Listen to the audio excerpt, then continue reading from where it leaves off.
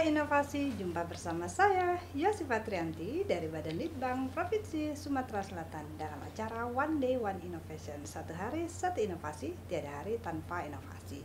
Sahabat inovasi, saat ini inovasi masih menjadi sebuah keharusan bagi kita. Dunia harus dunia terus berubah, maka kita harus adaptif dan inovatif. Untuk menginspirasi, kami hadir dengan para inovator hebat dengan inovasi-inovasinya dalam acara One Day One Innovation.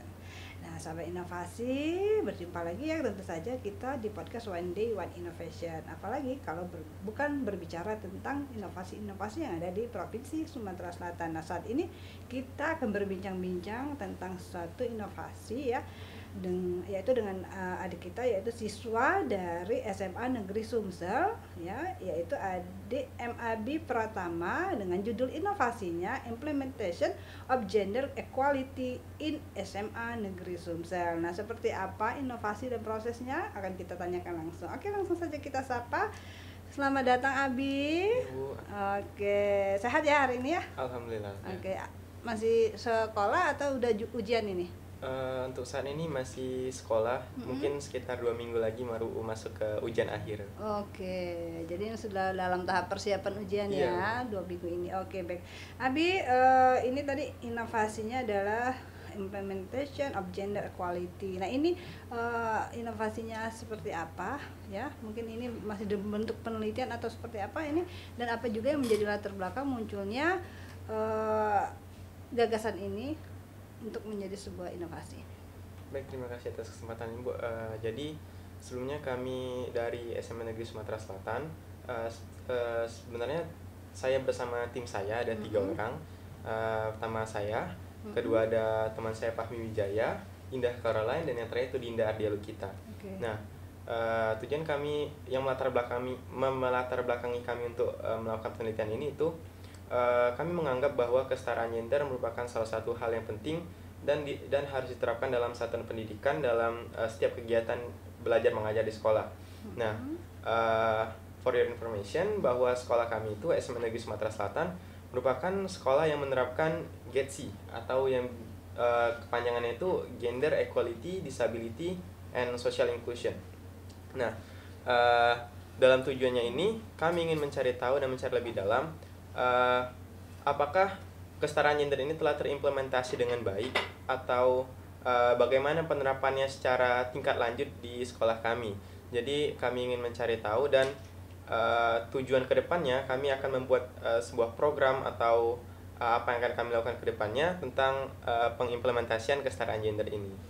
Oke, jadi baik ini eh, artinya ini adalah suatu proses ya, proses dalam menemukan suatu eh, inovasi untuk mengatasi masalah. eh, apakah im- memang implementasi ini sudah terlaksana eh, dengan baik di sekolahnya atau justru ini perlu suatu terobosan inovasi ya Iya. untuk mengatasi permasalahan ini. Oke, jadi sangat baik sekali ini karena memang eh, ini juga mendukung program Getski tadi ya. Iya. Oke, baik. Nah, eh, tadi disebutkan bahwa ada berapa tim ya? Ada empat orang ya. Iya. Nah, ini eh, masing-masing eh, temannya tadi ya ada empat orang ini perannya dalam melakukan proses penelitian ini apa aja? Baik, terima kasih Bu. Jadi em, dalam proses penelitian kami membagi tugas. Mhm. Eh, tentunya eh, saya dan teman saya Fahmi Wijaya itu eh, lebih fokus untuk mencari data ke lapangan, Mhm. melakukan observasi lapangan. Jadi kami menebar kuesioner, menanyakan kepada informan tentang eh, bagaimana pendapat mereka tentang kesetaraan gender, apakah sudah Mhm. terimplementasi dengan baik dan eh, berbagai macam pertanyaan lainnya. Dan Oke. teman saya Indah Caroline dan Dinda Ardia Lokita Mhm. itu uh, lebih fokus setelah kami mendapatkan datanya mereka uh, memproses data data tersebut dan menarik kesimpulan dari data tersebut jadi uh, kami membagi uh, tugas kami masing-masing sehingga uh, penelitian ini terlangsung dengan baik Oke, nah ini tadi eh, artinya ada eh, pembagian peran di dalamnya, ada yang mengumpulkan data dan ada yang mengolah data begitu ya. Nah untuk eh, masing-masing eh, baik dalam pengolahan data maupun dalam eh, pengumpulan data berapa lama waktu yang diperlukan? Uh, kan selama penelitian ini kurang lebih kami um, melakukan pengumpulan data selama dua bulan Mm-mm. Jadi kami uh, menebar kuesioner, melakukan wawancara kepada informan, Jadi uh, kurang lebih selama dua bulan kami mengumpulkan data melalui proses observasi lapangan. Oke, jadi pengumpulan datanya melalui observasi ya. Iya. Oke baik. Jadi ada beberapa eh, sampel ya yang Iya, dijadikan sampel. Berapa banyak jumlah sampelnya? Uh, untuk jumlah sampelnya itu karena sekolah kami uh, siswanya berjumlah kurang lebih 300 orang, Mm-mm. jadi kami mengambil sekitar separuh dari uh, siswanya sekitar 150 orang lebih kemarin itu. Dan juga Oke. terhadap uh, para uh, dewan guru dan juga para waka akademik kami menarik uh, data tersebut dan kami uh, uh, proses data tersebut. Oke, untuk pengolahan datanya sendiri berapa lama yang diperlukan? Uh, untuk data pengolahan datanya sendiri setelah kami mengumpulkan data selama dua bulan uh, satu bulan ke depannya kami mengolah data tersebut dan menarik kesimpulan dari data tersebut. Oke, jadi kurang lebih ada tiga bulan ya dalam proses penelitian Iya. ini ya. Oke, nah dalam melakukan proses penelitian ini sendiri ya, proses pencarian eh, bentuk program mitra bahasa inovasi ini ya, tentunya ya, eh, ini ada nggak hambatan eh, Abi bersama teman-teman dalam melakukannya? Baik, terima kasih Bu. Uh, mungkin kalau Abi sama tim Abi sendiri itu Mm-mm. hambatan paling besarnya cuma uh, gimana kita membagi waktu antara Oke, sekolah dan kita me- iya. melakukan penelitian ini. Mm-mm. Seperti yang kita tahu, uh, tugas kami juga sebagai seorang siswa, kami punya kewajiban belajar dan sekolah, dan juga di sisi lain kami ingin melakukan penelitian ini untuk um, menghasilkan sebuah uh, hasil yang kami inginkan. Jadi uh, ya hambatan yang uh, paling sering kami hadapi ya um, membagi waktu kami antara meneliti ini dan juga uh, sekolah. Gitu. Oke, jadi memang karena Abi ini masih eh, rutinitas ya Iya. sekolah dari jam pukul berapa? 7 sampai jam 7 sampai jam 3. jam 3 sore itu artinya di setelah waktu itu ya setelahnya ya Iya. baru bisa melakukan proses ini. Nah, ini luar biasa sekali Sabe Inovasi ternyata eh, Abi ini sebagai siswa masih punya semangat nih, masih semangat untuk melakukan suatu penelitian yang tentunya akan bermanfaat bagi sekolahnya ya tentu saja ya Abi ya. Oke, baik. Nah, ini eh, sampai saat ini sudah eh, berapa lama berapa lama nih eh, apa proses eh, penelitiannya udah selesai ya? Iya, Bu. Nah hasilnya gimana dari hasil? uh, dari setelah data yang kami ambil itu alhamdulillah Mm-mm. uh, data yang setelah kami proses itu menghasilkan data bahwa uh, mayoritas dari siswa dan juga guru di SMA Negeri Sumatera Selatan mengatakan bahwa uh, pengimplementasian kesetaraan gender itu sudah terlaksana dengan baik dan terimplementasi dengan baik.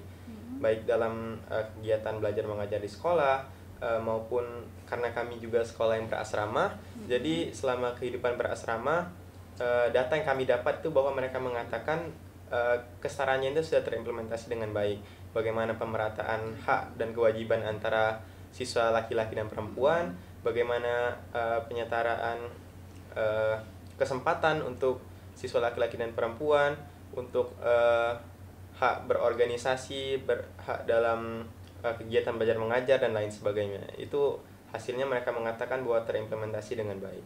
Oke, jadi memang sudah eh, secara implementasi gender ini sudah ter, terimplementasi dengan baik dan sesuai dengan harapan kita semua ya. Iya. Nah, kira-kira nih kalau Abi ingin eh, terus mengembangkan inovasi ini, eh, bukan mengembangkan penelitian ini ya, kira-kira ingin mengembangkan eh, penelitian apalagi nih di soal gender ada nggak?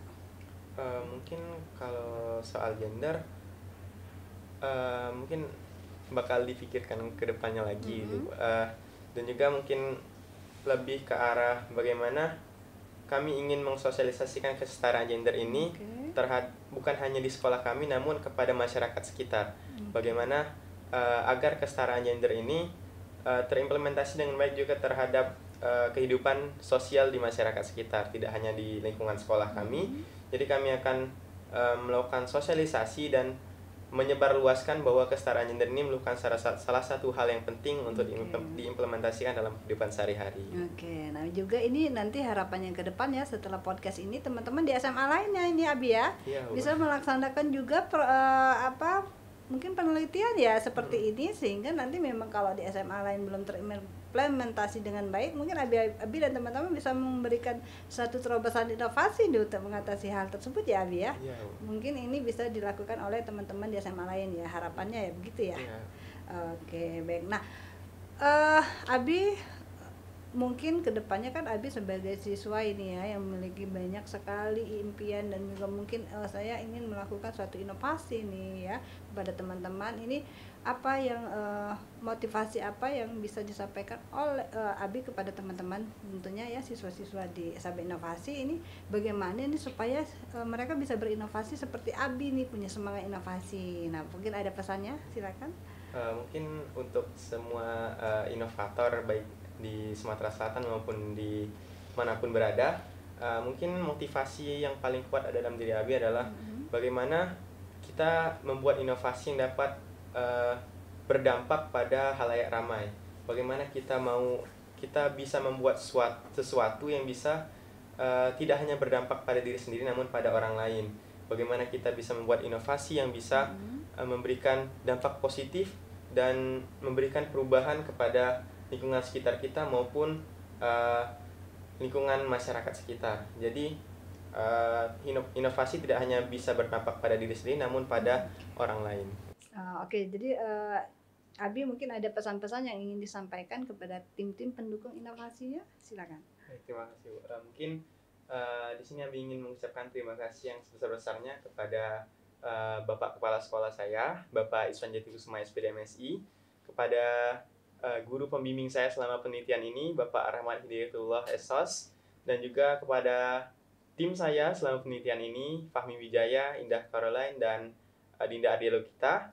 Terima kasih telah meluangkan waktunya selama kurang lebih tiga bulan untuk bersama-sama melakukan penelitian ini dan uh, terima kasih juga untuk kepada Waka Akademik Ibu Devi Mardianti, pada Waka Kesiswaan Bapak Eka Valide Predi, Bapak Amiruddin dan juga uh, Ibu Kurniawati MPD. Terima kasih telah, telah mendukung kami selama melakukan penelitian ini. Oke, akan lebih ber- bermanfaat tentunya kalau dirasakan oleh semua orang Iya. ya. Nah, terutama orang yang di lingkungan kita Iya. dulu ya. Oke, jadi sebenarnya di lingkungan kita pun ada apalagi ini Abi ya di lingkungan sekolah itu banyak sekali fenomena-fenomena yang harus diselesaikan melalui suatu terobosan Iya. inovasi baik dalam eh, belajar mengajar maupun dalam kegiatan-kegiatan eskul ya tentunya ini eh, ini tidak hanya guru yang dituntut berinovasi ya, Iya. ternyata siswa-siswa pun harus melakukan suatu inovasi. Oke, baik. Nah, itu tadi pesan eh, yang disampaikan oleh Abi ya, semoga ini juga menjadi eh, suatu eh, motivasi untuk siswa-siswa lain nih, seperti Abi untuk selalu berinovasi tentunya. Oke, Abi, terima kasih nih atas kedatangannya di podcast kita ya di One One Innovation. Semoga lain waktu ya Abi bisa melakukan berbagi lagi ya informasi tentang seputar inovasi atau penelitian-penelitian yang dilakukan oleh Abi ya. Nah, oke. Atau mungkin ini penelitian ini justru sudah menghasilkan suatu inovasi. Nah, ini nanti kita tetap kita tunggu ya sahabat inovasi ya agar eh, supaya Abi bisa berbagi kembali di lain waktu tentunya. Iya. Oke Abi, terima kasih atas kedatangannya kasih, ya. Selamat eh, belajar ya tentunya karena mau ujian katanya ya. Hmm. Nah, tetap semangat untuk berinovasi. Oke. Eh, baiklah sahabat inovasi, itulah tadi perbincangan kita dengan adik kita yaitu Abi Pratama. Tentunya ini eh, sangat baik sekali ya apa yang dilakukan Abi karena ini tujuannya adalah suat- mengatasi suatu permasalahan atau suatu hal yang menjadi eh, pertanyaan ya bagi Abi dan teman-teman ya ini eh, terhadap eh, gender yang ada di implementasi gender yang ada di sekolahnya. Oke, nah semoga ini bisa menjadi suatu eh, bisa dilakukan juga oleh siswa-siswa lainnya tentunya. Oke, baik. Nah, demikianlah sahabat inovasi perbincangan kita hari ini. Ikuti terus podcast kami One Day One Inovasi Innovation tentu saja ya eh, kita akan selalu berbagi tentang inovasi-inovasi yang ada di Provinsi Sumatera Selatan. Oke, sampai inovasi tetaplah terus bersemangat untuk melakukan inovasi karena karena kita punya jurus 4S, setiap orang adalah inovator, setiap masalah peluang inovasi, setiap solusi harus sinergi dan setiap inovasi harus konkret hasilnya. Salam inovasi.